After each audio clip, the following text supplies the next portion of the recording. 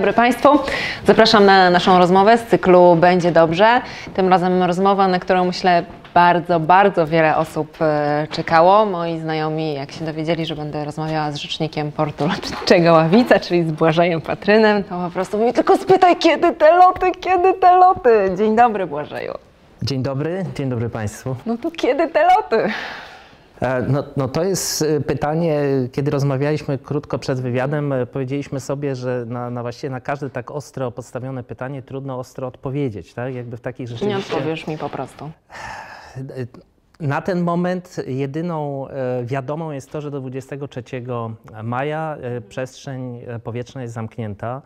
E, zatem no niestety na ten moment no, nigdzie nie, nie polecimy, tak? Ani nie polecimy zarówno w kraju, ani nigdzie nie polecimy ani rejsowymi samolotami, ani czarterowymi na wakacje, nie polecimy za granicę. Tak? I to jest, ta jed... to jest ten pewnik, który mamy na ten moment. A to jest jeszcze dodatkowa kwestia, która oczywiście no, no jest warunkiem koniecznym, czyli otwarcie ich do tego, żeby móc y, latać. To teraz wróćmy do, do początku, czyli do momentu, kiedy lotnisko zostało zamknięte, loty y, zawieszone. D dawno to strasznie temu wydaje mi się, że było, ale to wcale nie było tak y, dawno. Co, co, wtedy się, co wtedy się działo u Was? To znaczy, no oczywiście no, no, nie, nie, ma co ukrywać, wszystkich nas to wszystko zaskoczyła, zaskoczyła ta sytuacja, e, chociaż oczywiście te doniesienia o szerzącej się pandemii na świecie no, były coraz głośniejsze, natomiast no, chyba tak do końca nikt nie przewidywał i nie myślał, że skończy się to tym, że rzeczywiście nagle na, już tak dokładnie, jeśli chodzi o nasz tutaj Poznań, że na lotnisku nie będzie właściwie żadnego samolotu. No, nikt, nikt nie, nie wierzył. Ja jeszcze pamiętam, ja byłam z Tobą chwilę, wisiałam na gorącej linii, bo ja, ja byłam w takiej sytuacji, że miałam lecieć do, do Gruzji i dzwoniłam do Ciebie i mówiłam, powiedz mi, no powiedz mi, czy ja mam lecieć, nie lecieć. I Powiedziałeś mi, ja ci nic nie powiem, bo to, co ci powiem dzisiaj, jutro nie będzie ważne. No właśnie, no, na, na ten moment nie, nie mamy nic do końca pewnego. No i oczywiście musimy się przede wszystkim liczyć e, z tym, jakie decyzje e, oczywiście nasz rząd podejmie, jeżeli chodzi o, e, tak jak powiedziałaś słusznie, o granice, ale i o przestrzeń e, powietrzną, czy otworzą, czy nie otworzą. Ale też musimy zawsze pamiętać, że na tym ten odcinek ma dwa końce tak? Poznań jeden i tam, gdzie lecimy drugi, czyli tak naprawdę jesteśmy tak troszkę pomiędzy tymi dwoma regulacjami rządów, tak? jednych i drugich, trzecich, piątych, do tego, czy w ogóle gdziekolwiek polecimy, a mało tego, jeżeli polecimy, jaka będzie sytuacja na miejscu, w jaki sposób będziemy tam ten czas, no może nie tyle spędzać, bo mogliśmy sobie dewagować, jak będziemy sobie spędzać, jak mogliśmy normalnie, swobodnie latać. Natomiast w tym momencie musimy również patrzeć na te obostrzenia i te wszystkie regulacje, które będą miały na miejscu mm, do, w kraju, do którego polecimy. Tak? Czy będzie kwarantanna po przylocie, czy nie będzie kwarantanny? Czy może kwarantanna będzie na miejscu po przylocie do tego kraju? No, no, właśnie, to, to są ciągle takie e, niewiadome e, i tak jak słusznie zauważyłaś, no to się e, ciągle może zmienić. No, to, no ten 23 no, teoretycznie niebawem, coraz bliżej i, i, będziemy też obserwować, jakie decyzje będzie podejmował nasz rząd i oczywiście jak będą podejmowały rządy pozostałe. Ale no, co się wydarzyło, wracając do Twojego pytania, wtedy, kiedy ta kwarantanna, nie kwarantanna, tylko ten zakaz lotów stał się faktem, no to oczywiście spadło to na nas jak grom z jasnego nieba. I to dobrze nie rokowało ani dla nas, ani... No to z dnia na dzień po prostu ogłoszono koniec, śluz, nie ma. No oczywiście my y, w momencie, kiedy y, przede wszystkim ta, ta bardzo zła sytuacja rozpętała się we Włoszech, tak, to, to jakby to był ten pierwszy taki moment, y, w którym poczuliśmy, że coś złego się dzieje i że to może mieć jakieś konsekwencje w czasie za moment, że jakby może się to rozwinąć. Bo przecież przypominam, że tym pierwszym takim elementem to były te kontrole na lotnisku pasażerów, którzy przylatywali akurat od nas dokładnie z Bergamo. E, sam byłem przy tym pierwszym locie, który był e, obarczony tymi wszystkimi obostrzeniami mm, e, i ci pasażerowie byli poddawani dokładnie pomiarom temperatury, karty lokalizacyjne.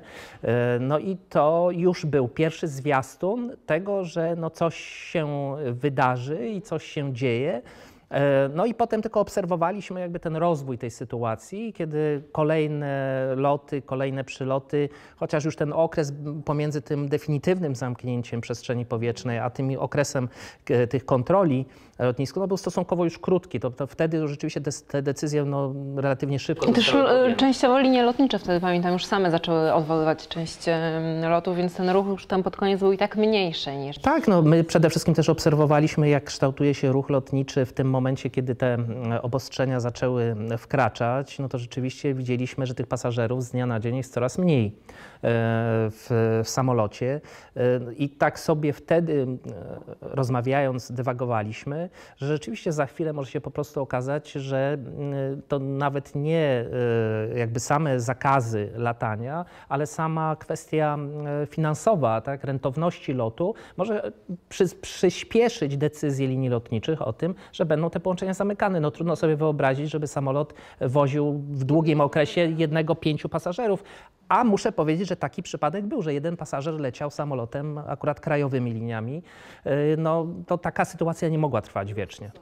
No absolutnie luksusowo, absolutnie luksusowa limuzyna samolotowa. A jak potem, bo rozumiem, że ponieważ będzie dobrze, e, wiemy, że będzie dobrze i loty w pewnym momencie ruszą. Nie wiemy jeszcze oczywiście kiedy, natomiast to się stanie. To Jak potem będzie wyglądała, jak myślisz, kwestia takiego bezpieczeństwa w samolocie? No bo dzisiaj to jest tak, że w galerii handlowej jest jedna osoba na 15 metrów. Utrzymujemy od siebie dystans dwóch metrów i tak dalej, i tak. No ale w samolocie jest mi trudno sobie wyobrazić, że co drugie siedzenie będzie wolne, a poza tym, biorąc pod uwagę, że to jest zamknięta puszka, no to nie oszukujmy się, i tak oddychamy tym samym powietrzem przez godzinę, dwie czy, czy cztery lotu. Jak to będzie? No, no tak, no trudno sobie wyobrazić sytuację, że nabieramy powietrza przed wejściem do samolotu i wypuszczamy je dopiero po wyjściu. Albo jeździmy w jakichś kombinezonach z maskami. Zdecydowanie nie, no to tak na pewno nie będzie wyglądało. Yy, To, co jest istotne, tak mnie się wydaje, że nie ma powrotu do nielatania. Tak? Także to jest, to, to jest ten optymizm, który powinien tutaj wybrzmieć, że na pewno do tego latania wrócimy. E, Kiedy to rzeczywiście trudno określić, chociaż już pewne sygnały e, od linii lotniczych biegną. No, linie lotnicze, tak jak i my, mimo że my oczywiście jako lotnisko my utrzymujemy pełną gotowość przez cały czas. To nie jest tak, że lotnisko jest zamknięte i, tylko hula wiatr i te taczanki się przetaczają po lotnisku. E, nie, no utrzymujemy pełną gotowość. No są, jest pewna część operacji lotniczych, które e, u nas są na ten moment, no bo są loty specjalne, są loty humanitarne, które mieliśmy okazję e, przyjmować i obsługiwać. Tak, samoloty z towarami przylatują. No, cargo dokładnie pojedyncze u nas oczywiście to nie jest na, na jakaś taka skala ogromna, ale też i prywatne małe samoloty, które do pewnego momentu miały te ograniczenia, że tylko pilot mógł latać. Po pewnym momencie się to zmieniło, że troszkę więcej tych osób mogło tym samolotem przylecieć, więc to gdzieś ta operacje muszą być. A poza tym jako lotnisko jesteśmy również lotniskiem e, zapasowym, jeżeli chodzi o kwestie bezpieczeństwa kraju i w każdej chwili też musimy być gotowi do obsługiwania lotów wojskowych po prostu. Zatem to lotnisko operacyjnie jest w stałej gotowości. Oczywiście jest pewna część jakby działalności lotniska, która no została oczywiście wstrzymana, zamknięta. Nie działają żadne sklepy, nie kawiarnie mm, i, i, i punkty usługowe, y, tylko w jakiejś tam części rentekary, czyli wynajem samochodów, ale w ramach swoich jakichś tam harmonogramów funkcjonują. E, Na to i cała, widać, że na lotnisku no przecież no nie ma żywego ducha praktycznie rzecz biorąc. Rzeczywiście są to obrazki, które czasem można zobaczyć w różnych miejscach z tego lotniska, gdzie strefa kontroli bezpieczeństwa jest zamknięta.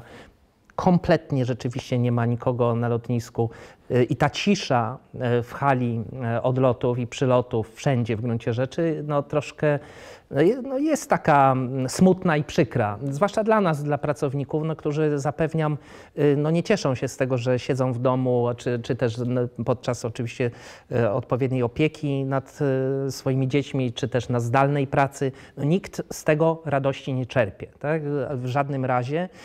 Zatem już naprawdę nie możemy się doczekać, aż y, lotnisko zacznie odradzać się i te kolejne loty będą, y, będą powracać. Zatem my jesteśmy przygotowani, ale musimy pamiętać, że też są firmy handlingowe, które współpracują z liniami lotniczymi. Oni są w stałym kontakcie i tak jak powiedziałem, że są pewne pierwsze takie jaskółeczki e, dobrej e, wieści, e, no bo ostatni komunikat... W Europie już powolutku loty gdzieś tam są wznawiane, tak? W Niemczech bodajże. No, Oni jakieś tam próby już podejmują.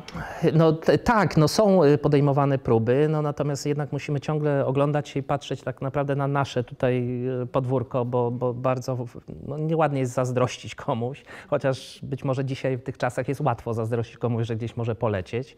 E, ale tym niemniej no, y, linie lotnicze, chociażby ten ostatni komunikat linii lotniczej Ryanair, tak, który zapowiedział odblokowanie 40% całego rozkładu, To już takie było od, takie odtrąbienie sukcesu, już wszyscy zaczęli bilety kupować. Ja już to ci przyznałam się, że już sama miałam y, w koszyku bilety do Bergamo 46 zł. No i też ta strategia właśnie, no tu musimy też pamiętać o tym, jak, jaką strategię przybiorą e, ostatecznie i finalnie linie lotnicze, jeżeli chodzi o e, poziom kwotowy e, biletów. No oczywiście każda linia no, zapowiada, że będą to bardzo atrakcyjne ceny, żeby odbudować. No właśnie, tu bym chciała jeszcze się na chwilkę zatrzymać, bo em, też to moje pytanie było. Ty myślisz, że ten tanie latanie skończy się? Tak naprawdę będzie chwila takiego momentu, żeby ludzi zachęcić, ale potem tak naprawdę tanie latanie się skończy, bo linie lotnicze będą musiały ob- odrobić te niewyobrażalne straty, które naprawdę poniosły przez ostatnie a, miesiące, tygodnie. Znaczy tutaj mamy wiele e, zmiennych, tak, które wpłyną tak naprawdę na, na, tą, na tę politykę e, zarówno i lotnisk, e, linii lotniczych. E, no my nie zarabiamy. No my mamy absolutny zero, jeżeli chodzi o kwestie takich naprawdę przychodów. No są drobne jakieś przychody, ale to absolutnie nie wystarczają na to, aby to lotnisko funkcjonowało w, no, na, w normalnym trybie.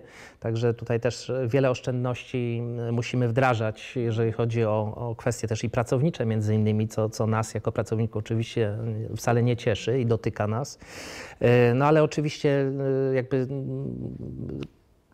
jesteśmy z tą firmą i, i chcemy, żeby ta firma e, przetrwała i wierzymy w to, że, że tak będzie. No nie dopuszczamy do siebie absolutnie żadnej jakby takiej myśli, że, że lotnisko miałoby być kompletnie zamknięte, e, więc e, żyjemy przez cały czas w tym przeświadczeniu, że pracujemy tak naprawdę i też jakby przyjmując do wiadomości te obostrzenia, no, że pomagamy poniekąd również przetrwać naszemu miejscu pracy. Tak? I to, to, to, to, to jakby czujemy. I godzimy się oczywiście tak na, na obniżenie pensji, tak, dokładnie, to są te właśnie te elementy, z którymi mamy na tę chwilę do czynienia.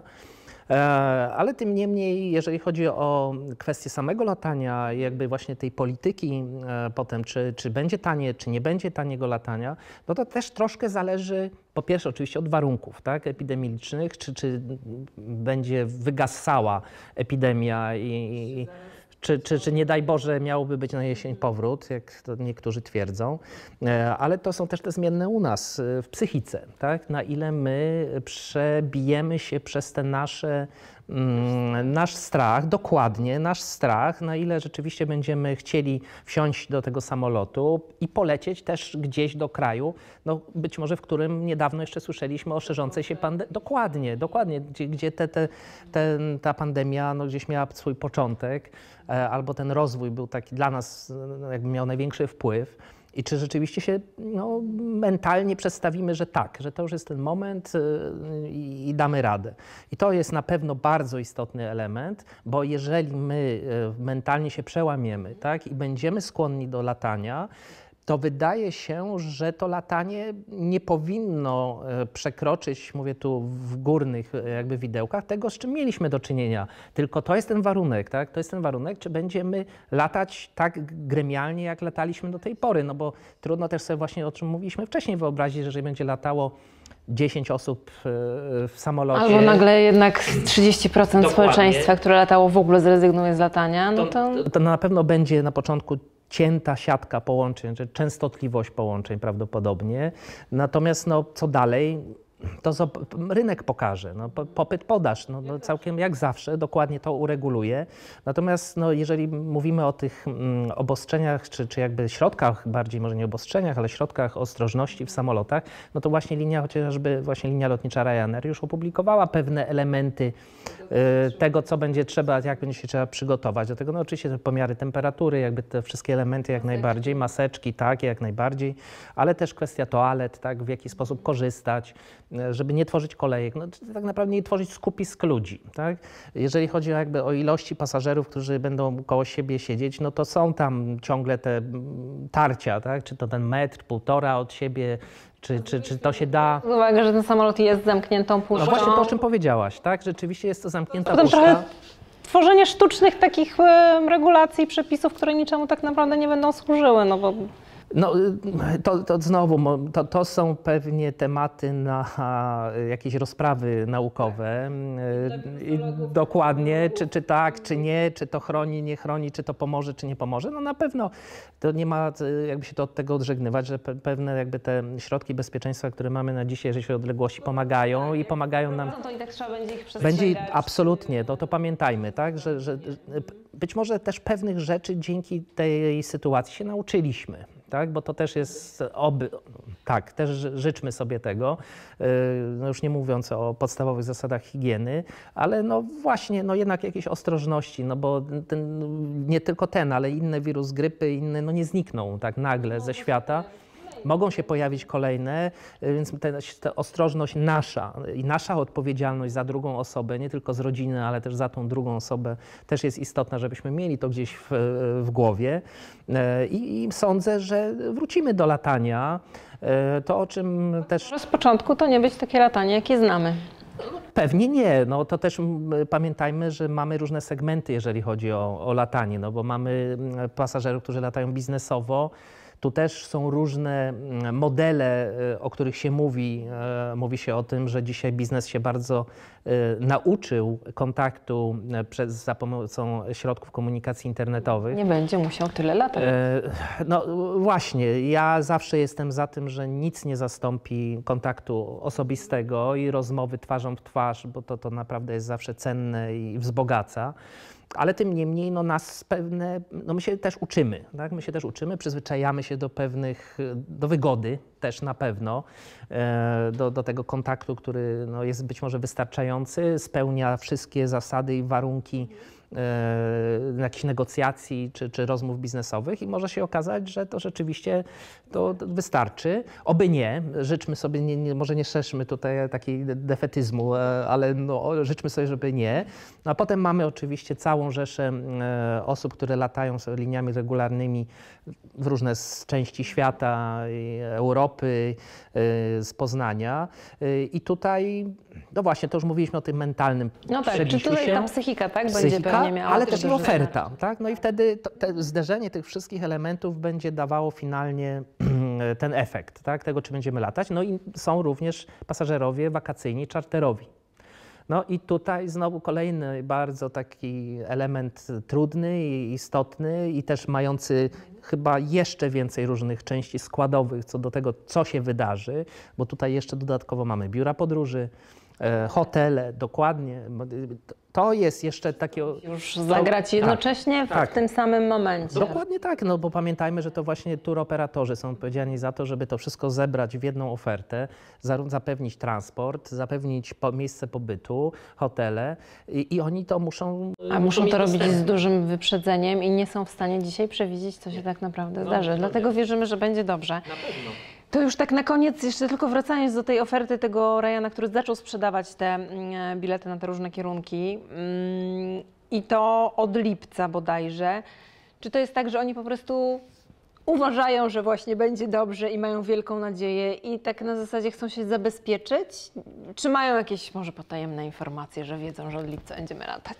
Znaczy, no na pewno każda z linii lotniczych no, ba, bardzo mocno obserwuje tę sytuację. Lobbują jeszcze, myślę, w różnych rządach na rzecz tego, żeby otworzono granicę. Znaczy chyba lobbowanie może bym tak, żeby to nie zabrzmiało tak, d- znaczy pozytywnym sposób. No, no tak chcą, zagrzewają do tego, żeby jednak uwolnić, bo tu naprawdę pamiętajmy, że za tym całym lataniem naszym jako klientów no stoi ileś osób, którzy pracują, którzy mają tam pracę. cały, to, to, to jest cały czas ten, ten taki ten balans, tak? Ten, to zdrowie, y, y, ży- ludzkie kontra ta gospodarka, ale przecież gospodarka to nie jest jakiś bezimienny twór, tylko gospodarka to są ludzie. I po tej stronie też jest zdrowie, też jest życie, bo to jest kwestia dostępu do lekarzy, stresu, który przechodzimy i tak dalej, i tak dalej, tak? Więc Lotnictwo, lotnictwo generalnie jest e, no, bardzo istotnym elementem e, gospodarki, napędzającym PKB e, zarówno regionu, jak i, jak i kraju. Zatem no, to jest bardzo istotny segment gospodarki i tutaj no, nie ma się co dziwić, że mm, to, to, to wszyscy byśmy chcieli i zabiegamy i zabiegają linie lotnicze o to, żeby rzeczywiście to niebo otworzyć i żeby móc latać. I dlatego nie tylko Ryanair, ale też mm, informacja dzisiaj, że i Wizer e, rozpoczął sprzedaż biletów i to już nawet nie na e, czerwiec, tylko na końcówkę maja, czyli po tym zamknięciu, który mamy dzisiaj do 23. E, no, czy, czy jaki, jaki to jest zabieg? No, oczywiście jest to pewna, pewien element wprowadzenia optymizmu do latania. Jasku, dokładnie. Y, natomiast y, no, muszą liczyć się być może, no, no, to są takie moje dewagacje, y, ale to wydaje się, że nie są zupełnie bez, pozbawione sensu. No, muszą się liczyć z, jednak mimo wszystko z tym, że nie będzie I, i, i też muszą być przygotowani, co zrobić z osobami, które kupią te bilety. U nas też bardzo dużo się To jest chyba ryzyko, które jako po prostu przedsiębiorca wtedy podejmują. No, podejmują ryzyko tego, że potem no, oczywiście nadal wierzymy w to, że no, jednak po tym 23 no, te, te loty no, zostaną jakieś częściowo, oczywiście nie wszystkie, tak? bo to pamiętajmy, że ta siatka połączeń no nie, nie wystartuje 24. Klocki muszą, że tak powiem, zagrać. Tak, 24 ta pełna siatka, prawie 70 ponad połączeń z Poznania no, na pewno nie, nie powstanie. Tak, wystartujemy, to jeszcze musimy mieć gdzie wylądować. Musimy gdzie wylądować, te muszą być jakby te regulacje, muszą być zatrzymane jakby te obostrzenia i uwolnione niebo, żeby, żeby móc latać. No i też linie lotnicze muszą być przygotowane na to, co się stanie, jeżeli rzeczywiście te rządy podejmą jednak decyzję, że jeszcze nie pora jeszcze nie pora na, na, na, otwarcie granic i otwarcie nieba. Kiedy spodziewacie jakiejkolwiek informacji, yy, tak, nie, ile, jak, kiedy? Y, ja y, sądzę, że y, no tak krótko przed 23, no to, to, to będzie coraz więcej tych informacji, no przede wszystkim trochę też właśnie z tych krajów docelowych, tak? jeżeli chodzi o obostrzenia, bo to o czym powiedzieliśmy o tej kwarantannie, no bo ile osób się zdecyduje na polecenie do jakiegoś kraju, jeżeli po przylocie będzie musiał dwa tygodnie być w kwarantannie. E, to wszystko jest do, do pogodzenia się w momencie, kiedy leci się do pracy, tak? E, I, i, i te, te, albo jako, do rodziny na przykład, tak? Czy na, do Wielkiej Brytanii, czy do Irlandii, czy do Skandynawii, czy gdziekolwiek indziej, no to jest jeszcze do pogodzenia. No dobrze, lecę do pracy, mój pracodawca się pogodzi z tym, że ja te dwa tygodnie, ale wakacji, no, no, no to nie, absolutnie jest to nie do zrealizowania. To, to, to się nie, na pewno nie sprawdzi. Zatem y, myślę, że w tym tygodniu przed 23 no, i w miarę zbliżania się do tej daty krytycznej, no będzie coraz więcej informacji i wiedzy na ten temat, co się będzie działo, my, ale tak jak powiedziałem, no my niestety nie jesteśmy przedsiębiorstwem, które sobie te regulacje ustanawia. I musimy liczyć się z wszystkim. Dokładnie, jesteśmy jakby tutaj absolutnie uzależnieni od decyzji e, rządów i od tych regulacji. Decyzje rządu uzależniające od tego, jak się będzie rozwijała epidemia sytuację. i też tutaj na to wpływu... Te, też nie, też tak. nikt de, de facto nie, nie ma. Nie wiemy jakby na tyle, na ile wpływ, czyli stosując się do różnego rodzaju zakazów, nakazów, mamy, tak, bo na to mamy wpływ, żeby nie roznosić między sobą, natomiast no tak naprawdę co się będzie działo później, nie wiemy. Ale jeżeli, ale... Pozwo- ale mhm. jeżeli pozwolisz, to naprawdę jeszcze raz podkreślę to, to hasło, że nie ma powrotu do nie latania. Bardzo mi się to podoba. Ale jeszcze powiem Ci, jedna jest taka dobra wiadomość dla tych wszystkich mieszkańców, mm, którzy mieszkają w okolicach Ławicy, zawsze narzekali na, wiesz, hałas, ruch lotniczy, no to oni są szczęśliwi. Powiedz czy nie.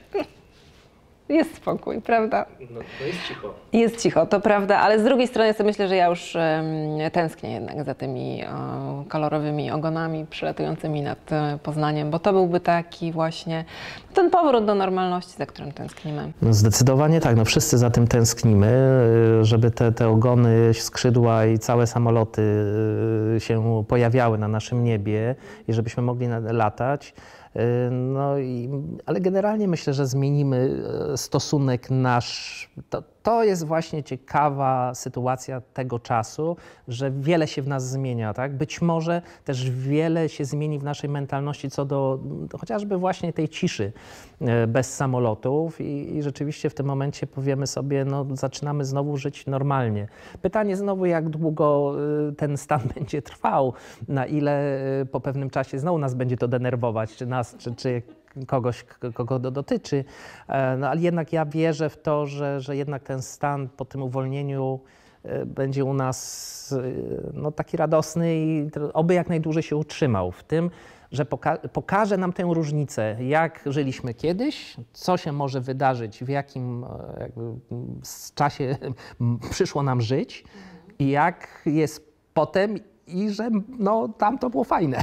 To, to przedtem. To prawda. E, Ja mam nadzieję, że będzie dobrze, Wy również. Mam nadzieję też, że jak się spotkamy kolejnym razem, to już będziemy rozmawiać e, o tym, e, gdzie latamy i jakie są już może już bardzo konkretne przepisy co do tego latania. My bardzo chętnie, jak zawsze zresztą się pojawimy, czy ja się pojawię u Was w studio i, i powiem i porozmawiam. Jeżeli rzeczywiście będą jakiekolwiek e, pierwsze jaskółeczki zmian i, i to, to, to też jestem do dyspozycji i bardzo chętnie Państwu i, i Tobie o tym opowiem, e, już mówiąc już o konkretach, bo wtedy być może będę mógł na ostro, na ostro będę mógł odpowiedzieć na ostre pytanie. Bardzo Ci Błażej dziękuję za wizytę. dziękuję. Mam nadzieję, że chociaż w części zaspokoiliśmy mm, ciekawość i wlaliśmy trochę optymizmu, bo to jest celem tej akcji. Będzie dobrze. Błażej Patryn, Port Lotniczy Ławica. Dziękuję.